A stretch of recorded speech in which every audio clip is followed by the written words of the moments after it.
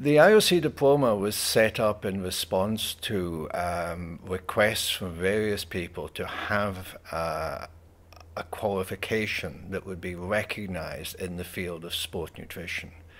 We approached various universities about how we could establish this on a collaborative basis, but it was difficult to get a multi center uh, qualification established. So the IOC said, okay, we're not a university, we can't offer a degree, but we can offer a diploma.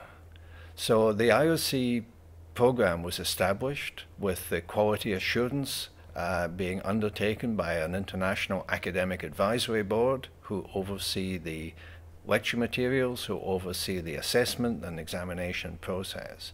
So it's an independent program, not affiliated to any single institution, but overseen by the International Olympic Committee's Medical Commission.